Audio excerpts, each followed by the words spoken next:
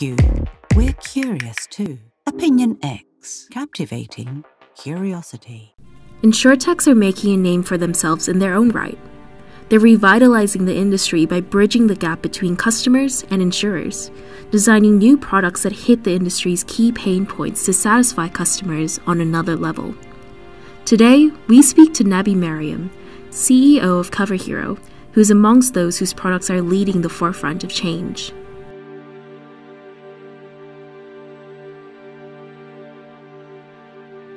We see two different kinds of, of startups in the industry. One that are looking at providing an end-to-end solution to a customer segment across product product lines. Then we see various different tools. We call this enabling technology companies that are coming into the uh, into the marketplace, collaboratively working together with incumbents to help them increase their efficiency or solve a problem across the value chain. So it's not it's not the kind of you know we haven't seen i don't think we will see the uberification of insurance industry because it is very complex and there are a lot of regulatory and compliance hurdles as well. The analogy that i like to use is for startups when we're starting from scratch we have the ability to navigate and move like a jet ski. For the incumbents it's it's more challenging to be able to move such a big beast um, and it's going to take time and there are a lot of risks involved in protecting the existing customer base and segments and you know moving the data um, from the legacy to to the cloud. And and I think there are a lot of com- people are uh, the companies are not oblivious to this. Um, some of them are quite progressive. And then there's always the laggards that are a bit late to the game.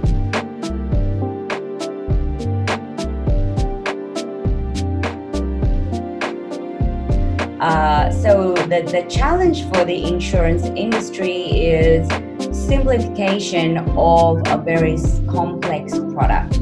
Uh, a good example is the product disclosure statement, which is kind of like the binding agreement between a user and the insurer.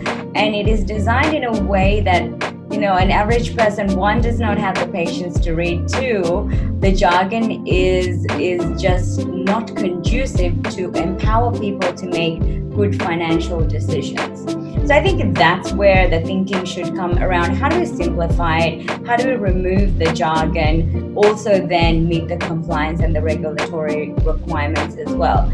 So think about creating new products that is going to protect the risks various different risks of the, the different generations and their lifestyle choices, then build the technology to serve those customer needs rather than building a one size kind of fits all kind of products and expecting people to to buy the product and and that is not going to happen.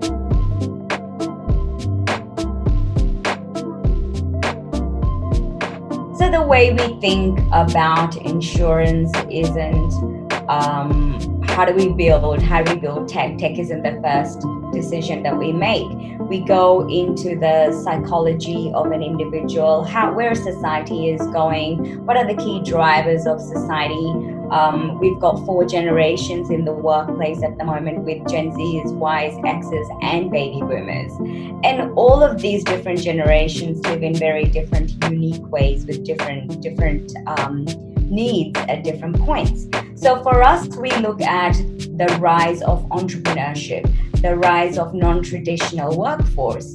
Uh, and with that comes a whole new range of um, challenges, a whole new range of risk profiles that needs protection. So we look at those trends and then start designing products that can holistically protect someone um, if there is an unfortunate incident. So we launched our product called Hustle Cover um, in January this year. And the idea behind Hustle Cover, being an entrepreneur myself, and a lot of the circles that I operate in have like we feel the same kind of challenges.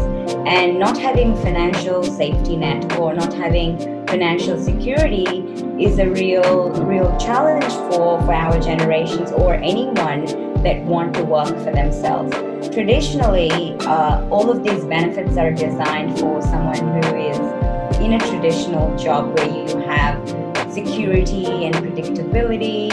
Um, but there is a segment of the market that is going at self empowerment and self employment and that needs protection. And it is not just an insurance industry issue, it is a society issue and something that needs to be looked at.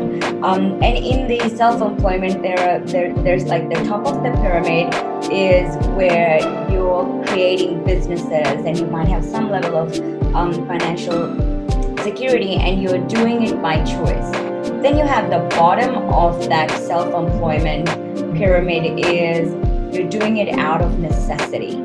For example, you're getting, you, you might have gotten made redundant or stood off during this time, and you don't have the ability to find employment, then you might have to go and drive for Uber, or you might have to go into the typical gig economy uh, kind of jobs, and that might be a short term, transient, need to pay the bills, need to pay rent kind of um, endeavor. But those people are the groups that are most at risk. And if something did happen to them, then what do we do about that? So there's a responsibility that needs to come from the the from, from us in terms of designing about for these different needs. Then the platforms that have these users, they have some level of responsibility as well in, in terms of protecting the user base. So it's a very collaborative um, kind of working model where we work with the platforms that have this particular uh, kind of user base.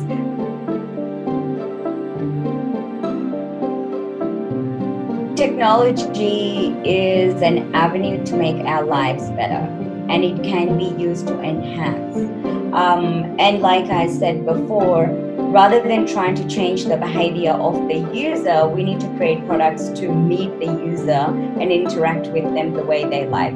So older generations might not be really tech savvy. They might not even want to use digital platforms to lodge a claim. They might want to just pick up the phone and talk to someone. And if that is the case, those user groups have to be catered in that very specific way. But there are things that technology can to make the process a lot faster and find efficiencies and reduce you know some of the operational leakages. Um, and those are the things that can be done from an insurance uh, value chain perspective. Um, but for customers we have to serve the different customer segments the way they like to be served. And i think that is the holy grail of any kind of innovation is don't try and change the user's behavior, it's a very hard thing to do. Find a platform with a certain intention, but then the users kind of change it to whatever they want.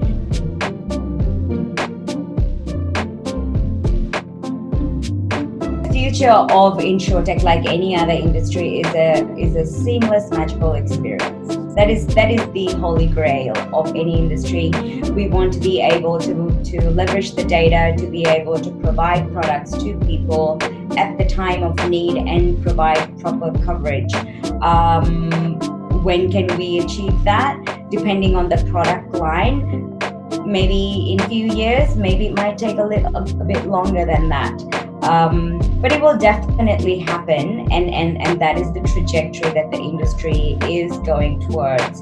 And I'm quite impressed by the the speed of innovation for insurance. And I think last year and this year, um, it's kind of like started growing rapidly, and we're seeing a lot of action happening in Australia. When I first got into the space there was almost nothing happening. And it benefits everybody. So it benefits the whole industry um, which means startups and, and incumbents can work together because it is impossible to exist in the ecosystem on your own